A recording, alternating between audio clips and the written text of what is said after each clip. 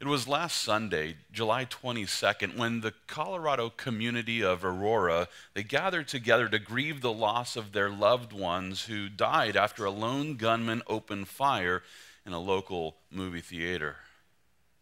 It was with flowers, candles, tears, and prayers that the survivors gathered together with others from their community they gathered together to share their memories. They gathered together to comfort one another in this time of grief.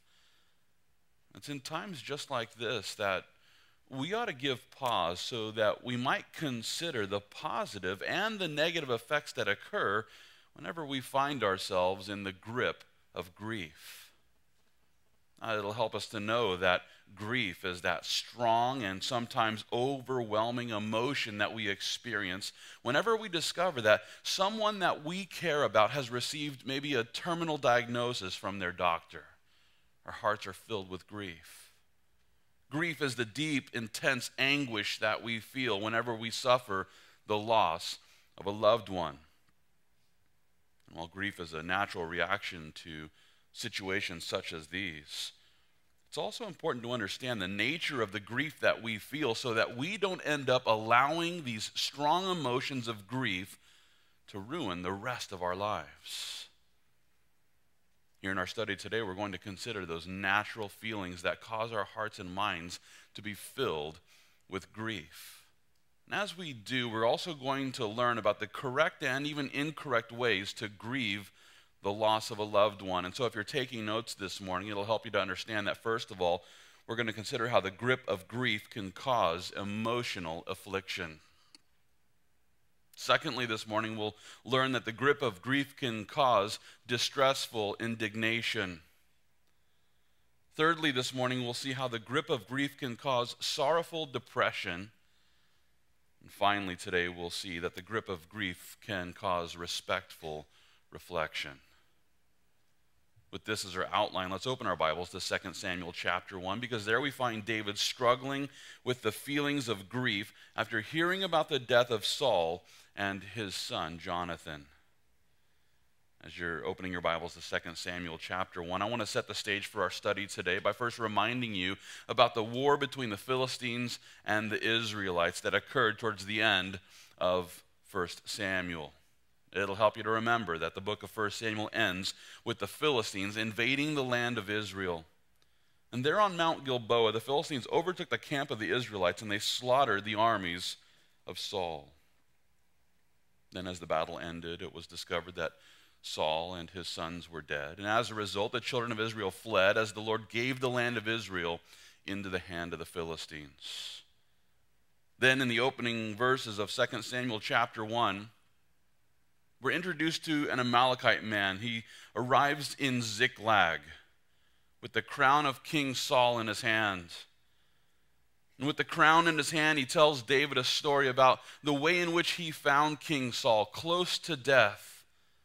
And not only that, but this Amalekite man also told David that Saul was begging him to end his life.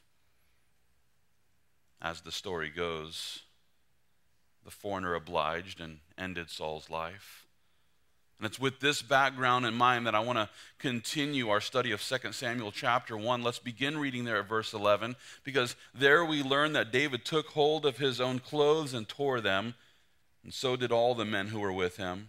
And they mourned and wept and fasted until evening for Saul and for Jonathan his son, for the people of the Lord, and for the house of Israel, because they had fallen by the sword. Then David said to the young man who told him, Where are you from? And he answered, I am the son of an alien, an Amalekite. So David said to him, How was it you were not afraid to put forth your hand to destroy the Lord's anointed? Then David called one of the young men and said, Go near and execute him. And he struck him so that he died. So David said to him, Your blood is on your own head.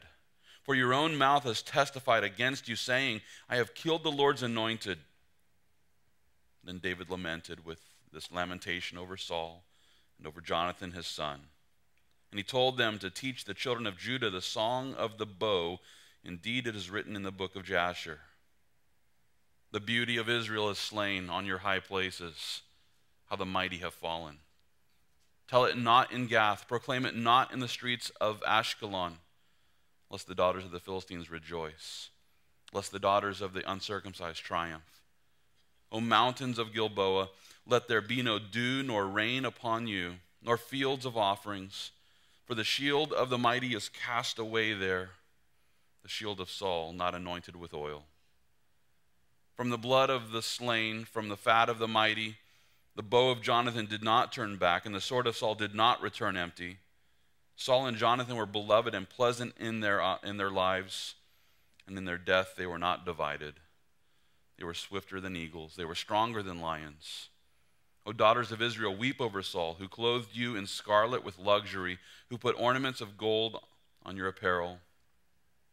How the mighty have fallen in the midst of the battle. Jonathan was slain in your high places. I am distressed for you, my brother Jonathan. You have been very pleasant to me. Your love to me was wonderful, surpassing the love of women. How the mighty have fallen, and the weapons of war perished. Here in our text today, we find David and his men grieving over the death of Saul and his son Jonathan. And as we consider the response of these men, we must take a moment to remember that Saul was the one who actually had robbed David of his first wife. Saul was the one who had robbed David of his first home there in Israel. John, uh, it was Saul who robbed David of his first job as the captain of the Lord's army.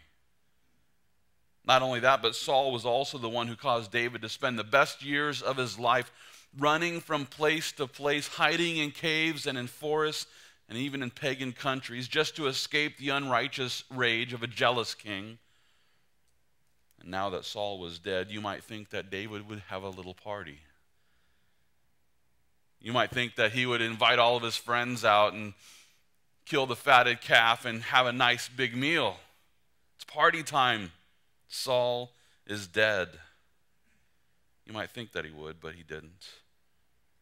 Instead, he grieved for Saul as if Saul was his own father.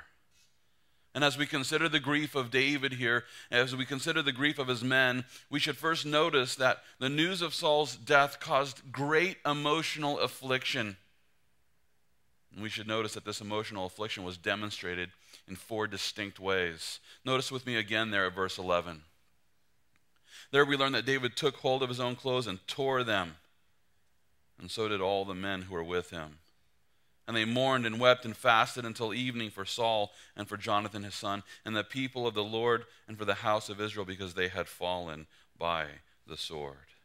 Now, here in these verses, we find David and all of his men there tearing their clothes after hearing about the death of Saul and Jonathan. It'll help us to know that this demonstration was just their way of saying, I'm all torn up inside.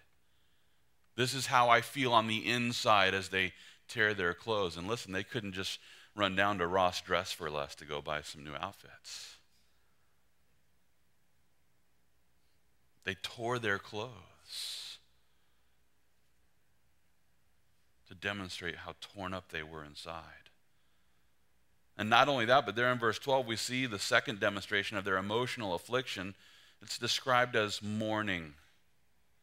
They mourned. And listen, we're not talking about uh, sadness that leads to a bit of sorrow.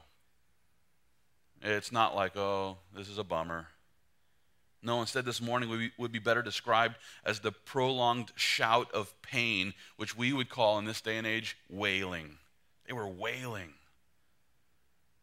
So these guys expressed their emotional affliction by tearing their clothes and by crying out with wailing.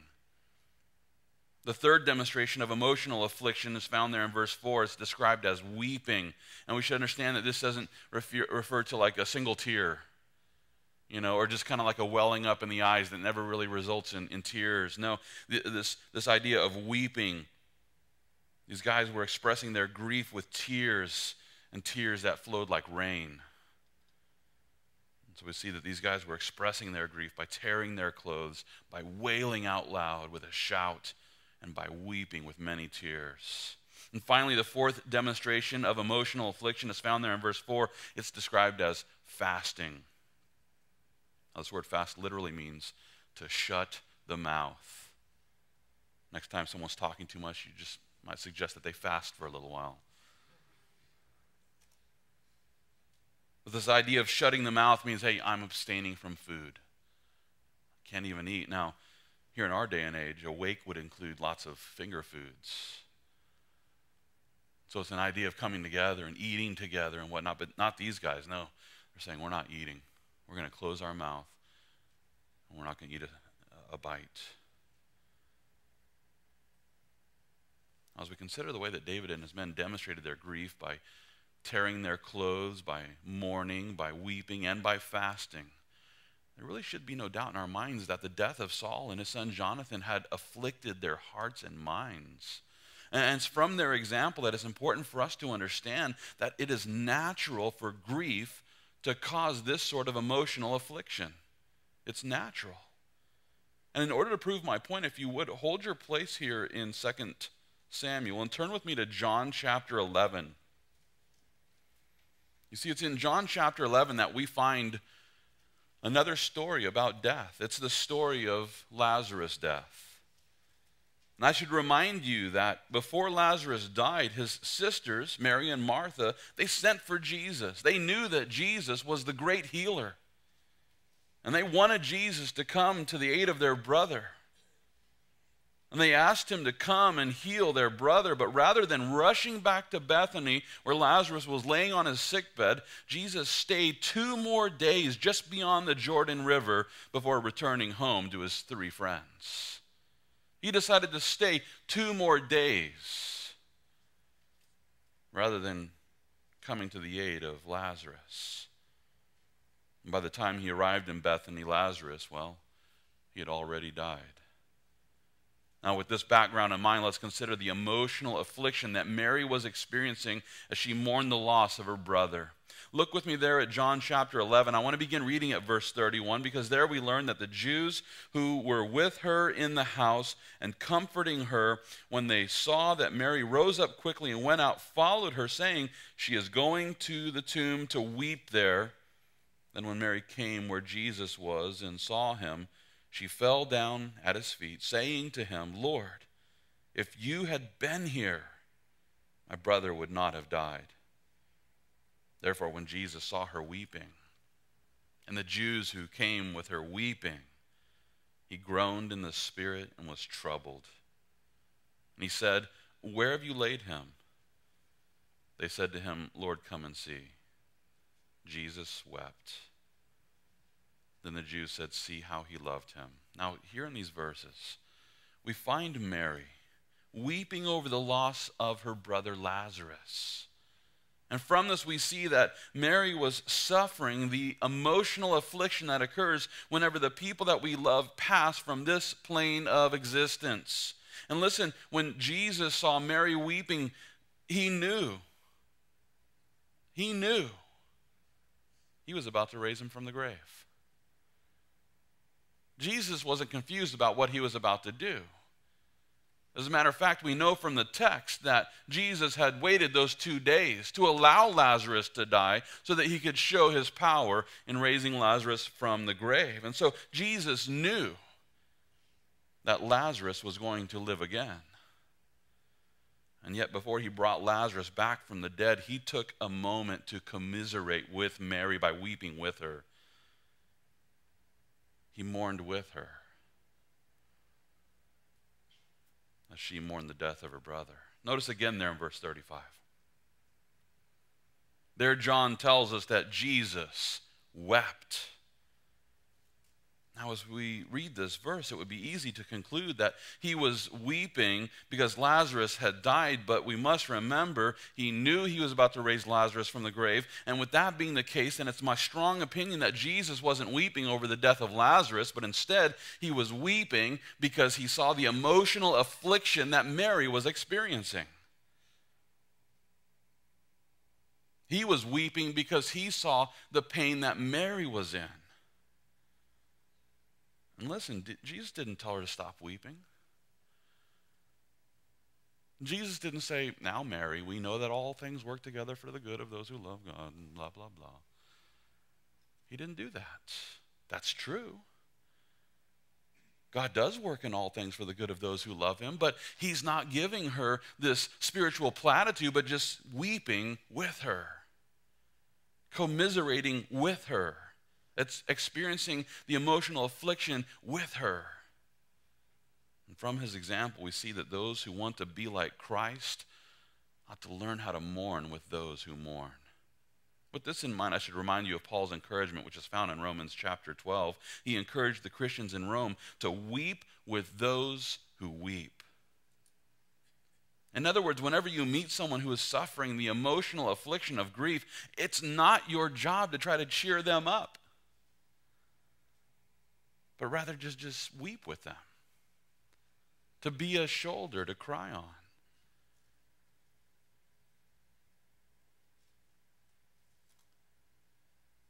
we would do better rather than trying to cheer them up, to just weep with them as they mourn the loss of their loved one. Not only have we been called to weep with those who weep, but I also want to bring this to a personal point of application because what this also means is that it's okay to experience emotional affliction. It's okay to grieve. And I say this because I've met people who attempt to spiritualize their emotions by suppressing any feelings of grief because that would be a demonstration of a lack of faith in God. If I grieve, then I'm disagreeing with God that this is His perfect will, and be careful. I don't think that it's wrong to grieve. I don't think that it's wrong to experience emotional affliction. Jesus didn't correct Mary, but rather he wept with her. And so don't feel bad if you're grieving. Don't feel like you're sinning or that you don't have faith if you're grieving. It's natural to grieve the loss of a loved one. Whenever we suffer the loss of a loved one, it's okay to feel the pain of emotional affliction because death is the result of sin, and therefore it's contrary to God's original design. And so it ought to bring us to a point of grief. We ought to grieve over death. From this, we see it's only natural for grief to cause emotional affliction in the hearts of those who have lost a loved one.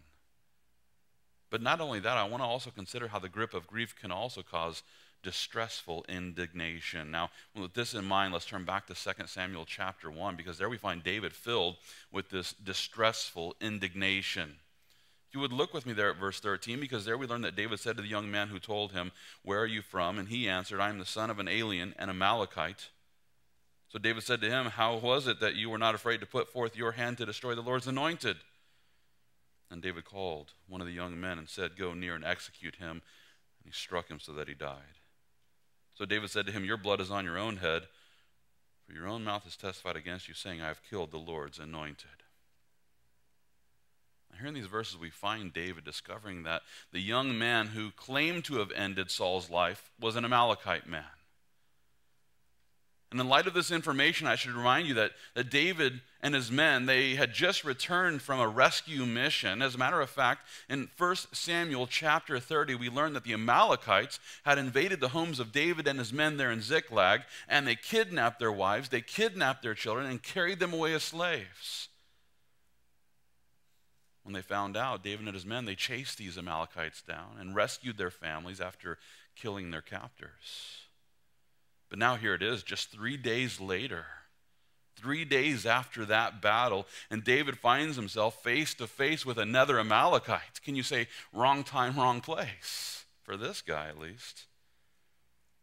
I can't help but to imagine the anger that filled David's heart as he learned that an Amalekite man was responsible for King Saul's death. Now, we know based on the true story of how King Saul died that this Amalekite man wasn't actually responsible for it. This guy was just telling a lie, trying to get, you know, some reward money from King David. He thought King David would be all rejoicing and happy and he would be rewarded and showered with treasure. It didn't really work out that way for him. As David heard about the death of King Saul, his heart filled with grief. Began to experience emotional affliction as he tore his clothes and mourned and wept and fasted. And yet, this emotional affliction continued to, to grow in his heart until it became distressful indignation as he began to consider the role that this Amalekite man allegedly played in the death of the Lord's anointed. And though Saul was already dying because the wounds had been caused by the archers of the Philistines, and chances are when this Amalekite man found Saul, he was already dead. But David's grief over Saul's death led him to act out upon his feelings, and, and all of a sudden, this guy's life was in danger. Notice again there at verse 14. We find David there asking the Amalekite man, How was it you were not afraid to put forth your hand to destroy the Lord's anointed? Now, it seems like David's asking this guy the question after he's already dead. But he's still asking this question Who are you to execute the Lord's anointed? And there in verse 15, we learn David called to one of the young men and said, Go near and execute him. So he struck him and he was dead. Now, as the man was dying, David, David said, Your blood is on your own hand. For your own mouth has testified against you, saying, I've killed the Lord's anointed. And from this, we see that David's grief quickly went from emotional affliction to distressful indignation. And his grief turned into this distressful indignation.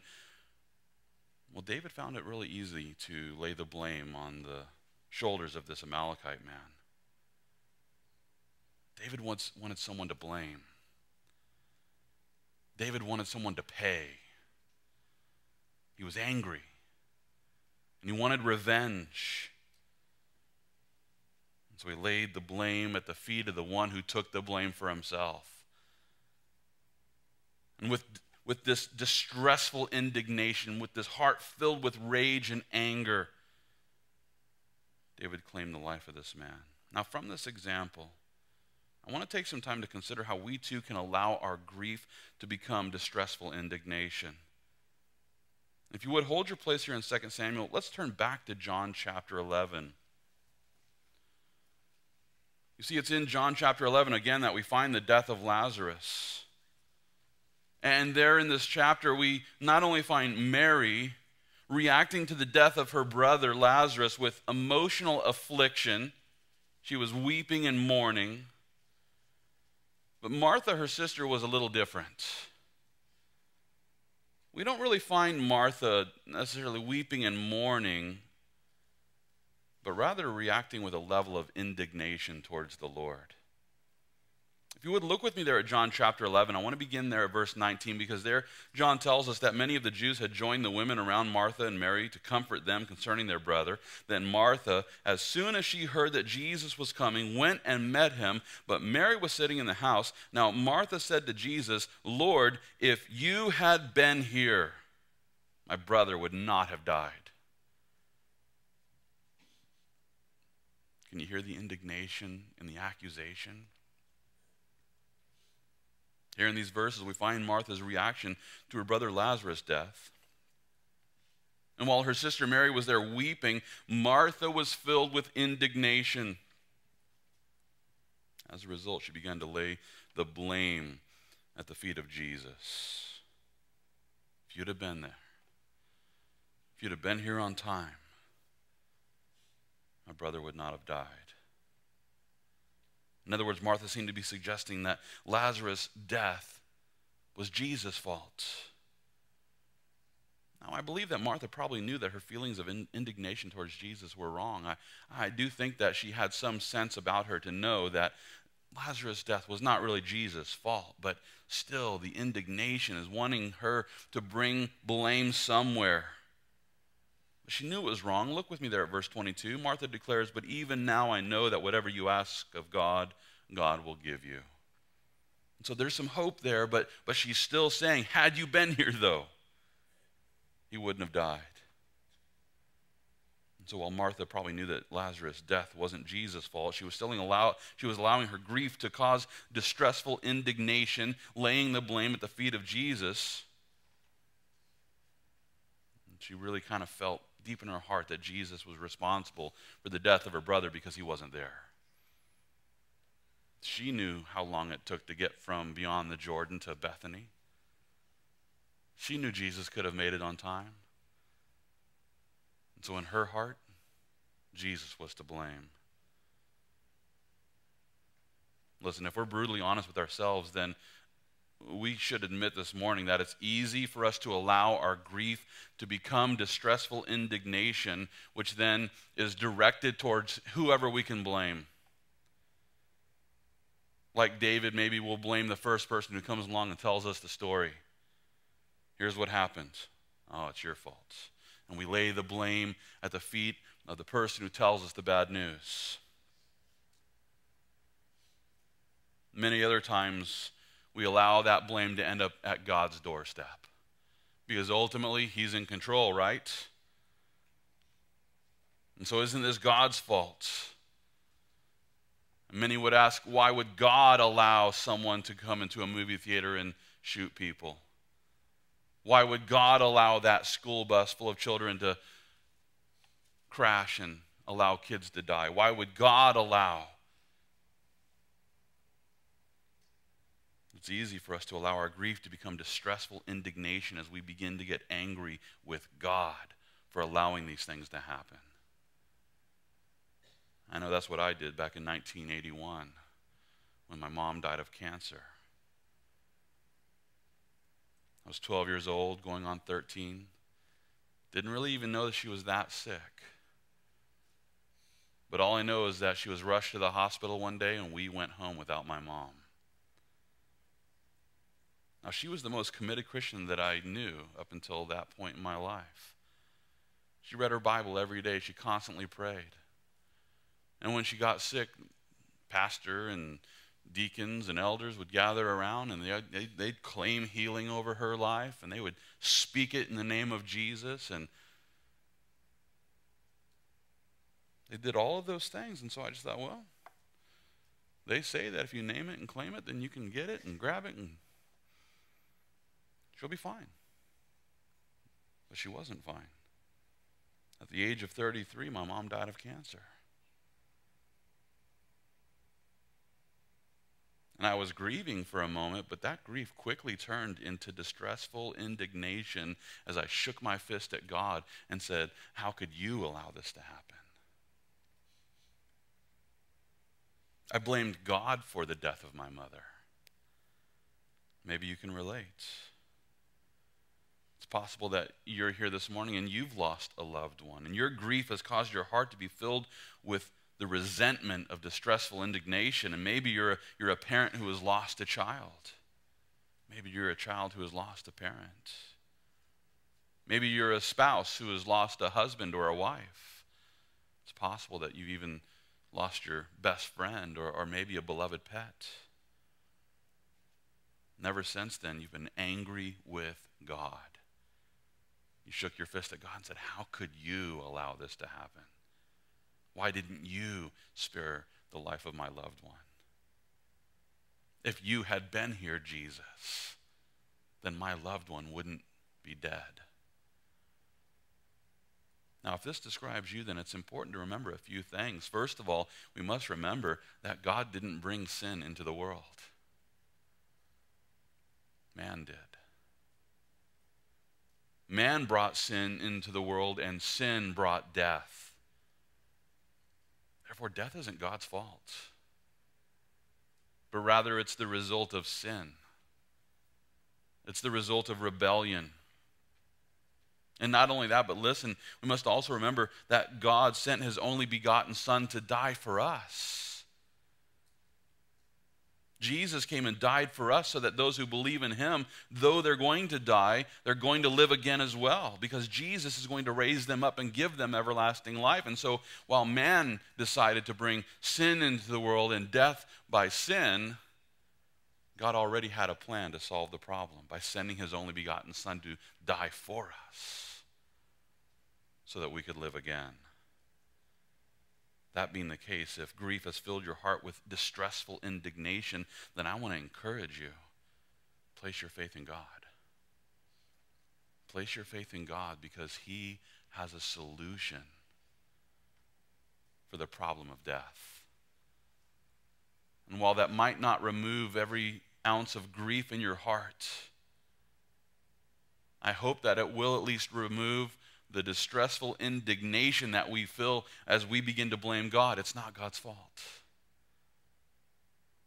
And you can say, yeah, but God could have stopped it. It's true. He could have. But then we have to wonder well, would God be a loving God if He stopped every single bad thing from happening? Not necessarily. Not necessarily. God knows the beginning from the end. He knows what's right. And so we must trust Him and believe that what He allows, He allows for our good. And so let's not be mad at God.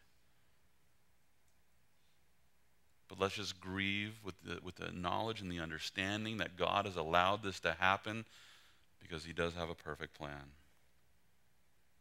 So we see then that the grip of grief can cause emotional affliction as we mourn the loss of a loved one. And not only that, but the grip of grief can also cause distressful indignation as we seek to lay blame somewhere and sometimes even blame God. But furthermore, we should take some time to consider how the grip of grief can also cause sorrowful depression. And with this in mind, let's turn back to 2 Samuel chapter 1, because there we find David filled with distressful indignation. If you would look with me there at verse 17. There we learn that David lamented with this lamentation over Saul and over Jonathan, his son. Now, here in this verse, we find David lamenting over the loss of Saul and his best friend Jonathan. And it'll help us to know that the word lamentation there, it means to feel or express mourning or regret. And it also speaks of the sorrowful depression that occurs in the soul of the person who is mourning the loss of a loved one. So we see then that David was depressed with great sorrow as the news of Saul and Jonathan began to sink in. The shock was beginning to wear off. The depression was beginning to sink in. And it's from this example that we should take a moment to consider how grief can cause sorrowful depression in the lives of those who suffer the loss of a loved one. And so if you would hold your place here in 2 Samuel, turn with me to 1 Thessalonians chapter 4. And as you turn to 1 Thessalonians 4, I want to point out that grief will oftentimes turn into depression. The reason why is found in the fact that the person who is filled with grief after losing a loved one will attempt to imagine their life without the person who has passed away. And that's tough. It's a hard thing to begin to consider what my life will be like without this person. And as we begin to try to imagine what it's going to be like to continue to live without that loved one in our life, our hearts begin to become overwhelmed with that sense of hopelessness as we realize that there's nothing that we can do to bring that person back. Many problems don't cause depression because there's a solution. I just have to get past this month, or I just have to get past this year, or I just have to get past this problem. I just have to wait for this medicine to kick in. There's a solution. And so there's a little grief, but it goes away. It doesn't turn into depression because there's a solution. But so many times we experience the loss of a loved one and we know that there's no real solution for it. They're not coming back. I even think about my own mom and the times that I would just think, okay, she's gone away. She's coming back. She's just on a trip. No, not going to happen. And that grief can become depression as we try to imagine our lives without them. Now, if you've ever allowed your grief to turn into this sort of sorrowful depression, then please consider the encouragement of Paul found here in 1 Thessalonians chapter 4. Look with me beginning there at verse 13, because there Paul declares, I do not want you to be ignorant, brethren, concerning those who have fallen asleep. This is Paul's way of saying that they've died I want you to be ignorant of those who have died, lest you sorrow as others who have no hope. For if we believe that Jesus died and rose again, even so God will bring with him those who sleep in Jesus. For this we say to you by the word of the Lord, that we who are alive and remain until the coming of the Lord will by no means precede those who are asleep. For the Lord himself will descend from heaven with a shout, with the voice of an archangel, and with the trumpet of God, and the dead in Christ will rise first. Then we who are alive and remain shall be caught up together with them in the clouds to meet the Lord in the air, and thus we shall always be with the Lord. Therefore, comfort one another with these words. Here in these verses, Paul was helping us to remember that those who trust in Jesus, they're going to get to spend eternity with one another. And so, while the death of my mother and even the more recent death of my grandmother still fills my heart with grief to think about, I'm not depressed. There's grief, but there's no depression. They were both believers. And I know that I'm going to see them again. I get to spend all eternity with my mom and my grandma. Christian, listen, we can take great comfort in knowing that those who trust in the Lord will, will live forever in the presence of the Lord. And while this doesn't help us to cope with the death of those who, who, who are rejecting the grace of God, it does give us great comfort in knowing that we will be joined together again with those who love the Lord. You see, listen, our, our God is not the God of the dead, but he's, got, he's the God of the living.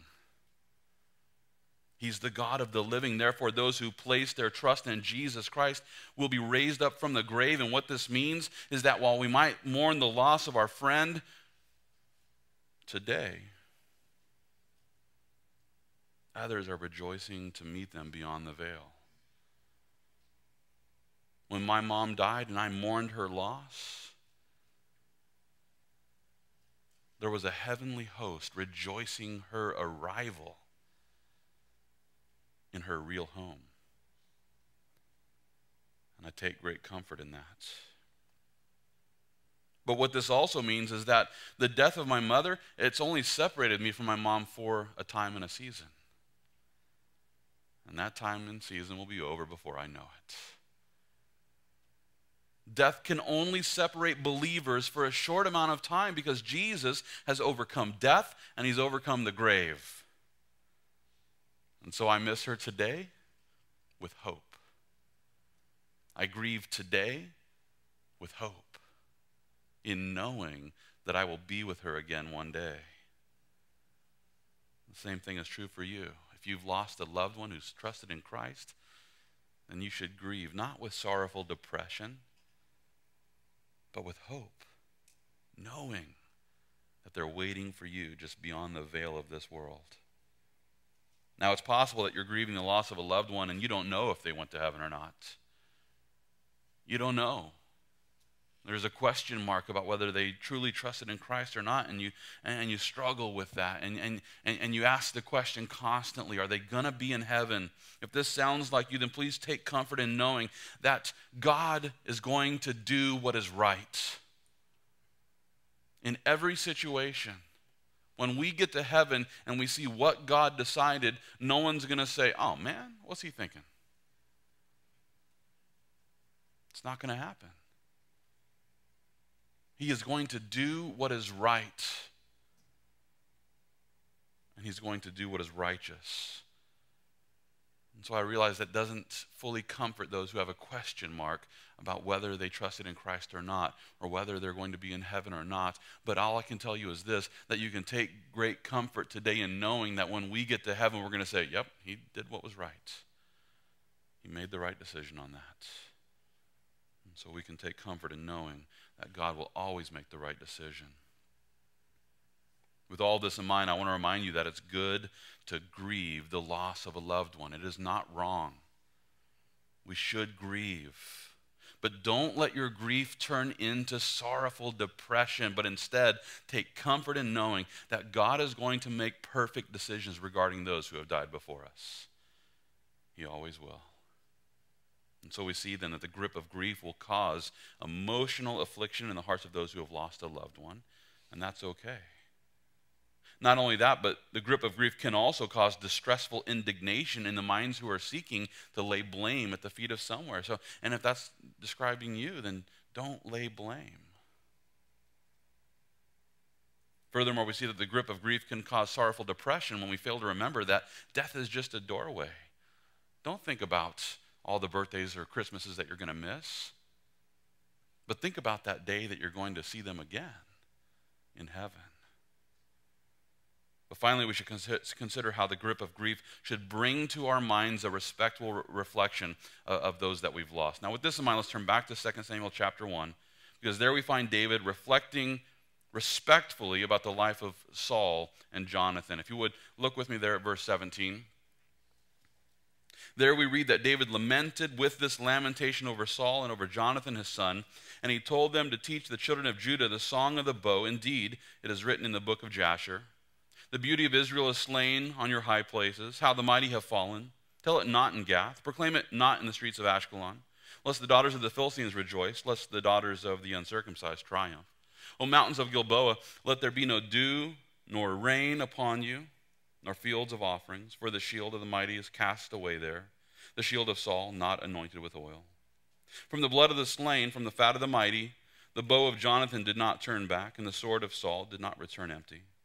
Saul and Jonathan were beloved and pleasant in, the, uh, in their lives, and in their death they were not divided. They were swifter than eagles, they were stronger than lions. O daughters of Israel, weep over Saul, who clothed you in scarlet with luxury, who put ornaments of gold on your apparel. How the mighty have fallen in the midst of the battle. Jonathan was slain in your high places. I am distressed for you, my brother Jonathan. You have been very pleasant to me. Your love to me was wonderful, surpassing the love of women. How the mighty have fallen, and the weapons of war perish. Now, here in the final verses of this chapter, we find David, he's writing a song and singing this song about Saul and Jonathan. And it's with this song that David was respectfully reflecting on the best qualities of these two men. He was writing this song and, and presenting the best qualities of these two men so that those who were grieving the death of John, Jonathan and Saul, that they might remember them in the very best way possible. And in this song, David referred to David and Jonathan, or he, he referred to, to Saul and Jonathan as mighty and brave. He, he wrote this, this best selling single, at the time at least, about the braveness and the might of these two warriors. And David reminds us that they were beloved and pleasant in their lives, and, and in their death, they were swift and strong. While David was respectfully reflecting on the best qualities of both these men, he focused one verse of this song on the friendship that he had with Jonathan. Notice again there in verse 26. David declares, I am distressed for you, my brother Jonathan. You have been very pleasant to me. Your love to me was wonderful, surpassing the love of women. From this, we see that David and Jonathan were the very best of friends. They were closer than brothers. I'm guessing that his wives weren't too thrilled about this love between David and Jonathan. Sounds like David may have loved Jonathan more than his wife, you know. But there's a friendship that can happen when two guys bond together, when two guys hang out. I think about the time that I spent with my good buddy Steve Westfall, who pastors the church there at Calvary Chapel of Midland. He was at youth camp this past week, and every morning we would sneak away and go to Starbucks and study together him preparing for his message, me preparing for mine, and the conversations that we got in. And a couple of mornings, his wife went with us. It was sad for her to be a third wheel, you know, in, in the trips, but uh, she coped. But that love between two guys, that friendship that two guys can experience, it's an incredible love. And so David is, is reflecting on this relationship that he had with Jonathan, especially. He wrote this song so that every person would respectfully remember these mighty men of God. And in similar fashion, our grief should lead us to respectfully remember those who have passed away. Now, with this in mind, I would encourage every person here this morning who is struggling with grief, spend some time reflecting and I would encourage you to spend more time reflecting than projecting. What do I mean by that?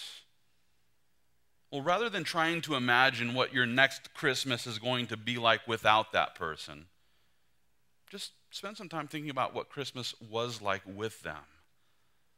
And then respectfully reflect on that good memory and hold it in your heart. Rather than thinking about all the birthday celebrations that you're going to miss, because they're gone.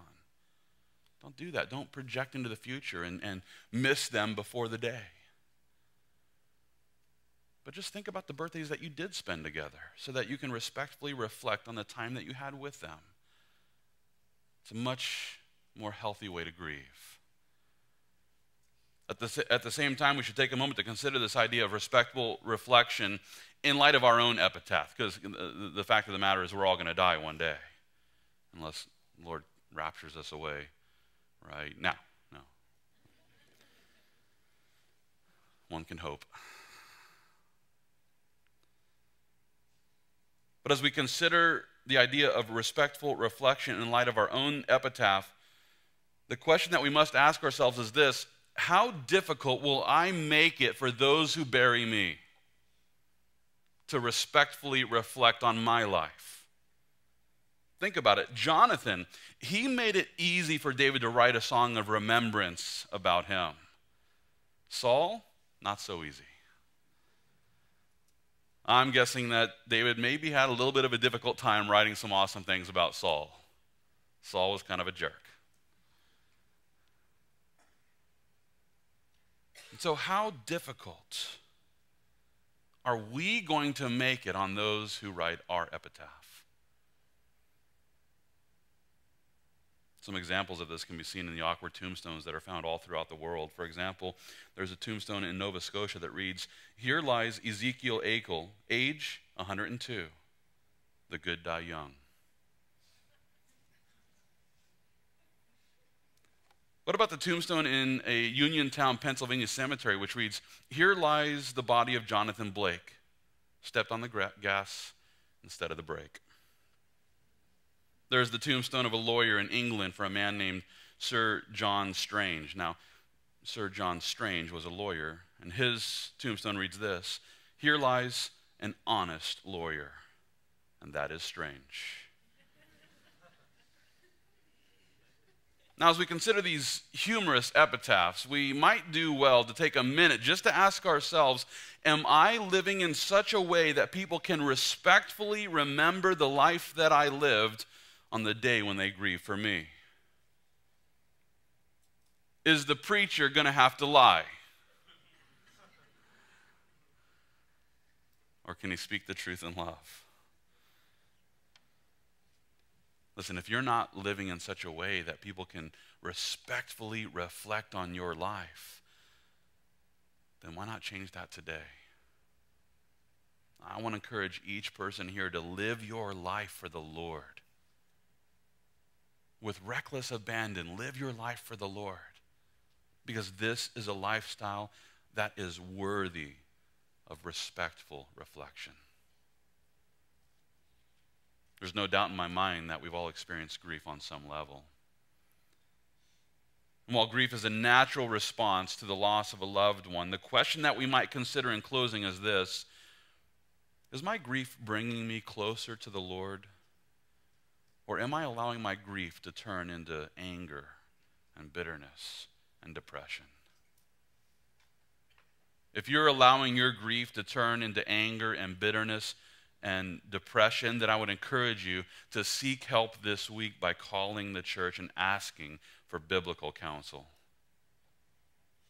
Don't continue to be angry with God. Don't continue to allow your heart to be filled with bitterness. Don't continue to struggle with depression because of grief. But sit down and let's consider the Word of God together so that we can examine the feelings in light of the Scriptures.